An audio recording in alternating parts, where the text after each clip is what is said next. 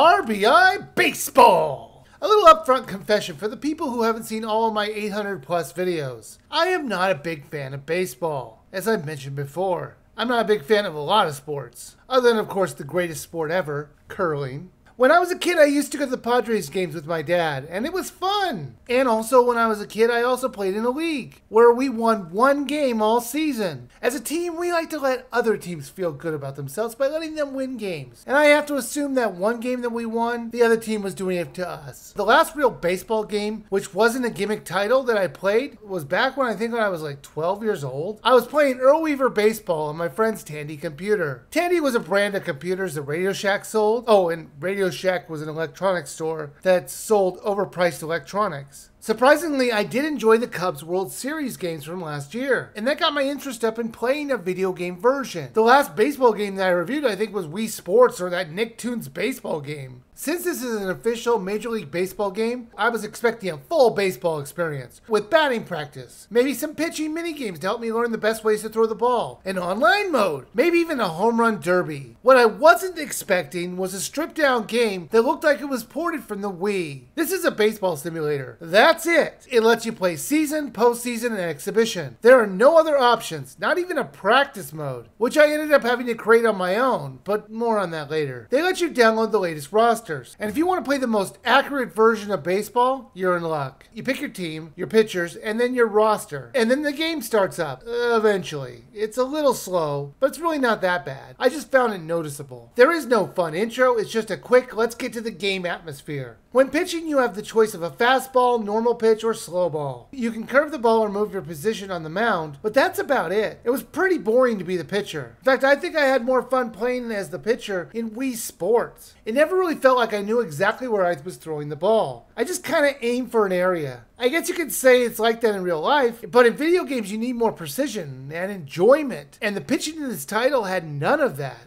But batting wasn't any better. You can move around the batter's box just like normal, or to say float around the batter's box. As your feet don't move, they just kind of hover. Nice animations there, guys. They say in the instructions you can press down while you swing to swing your bat downward. But it never really worked for me as it just kind of moved my character down. All the character designs were so simplistic, from the batter to the outfield to the ridiculous audience in the bleachers. I mean, look at the audience. This is just copy paste, copy paste, copy paste, copy paste. It's insane. They spared spared every expense recreating the sense of actually being at a ballpark. It is so lazy. There are no replays, announcers, or special effects of any kind. There might be some with a home run, as I never got to see it in the games that I played, but I wouldn't bet on it though. I did end up winning one game in the many I played. When you win a game, it's a very underwhelming experience. You don't get to see your team celebrating or everybody excited like, yay, we won this game! Woohoo! It just moved on to the next game. In season mode, you can play a full season of over 150 games, which is insane to think anybody would want to play this game over 150 times. You can also play a half season or a quarter of a season. They do give you the option of letting your computer play a match for you if you don't want to play against the person that you're matched up against. The postseason has you playing as a wildcard team that's trying to make it to the World Series. It's just a basic game with a text box at the top saying wildcard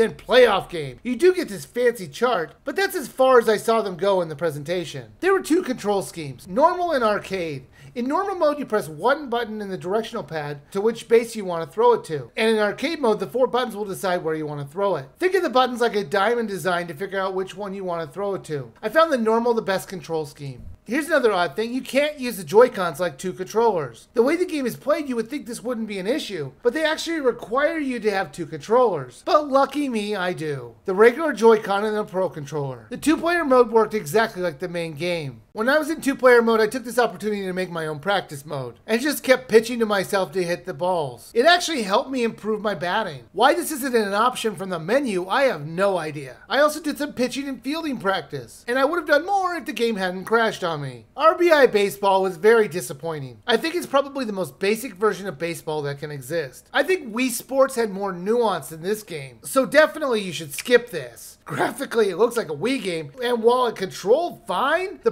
presentation and feel of the gameplay was just so boring to watch and play.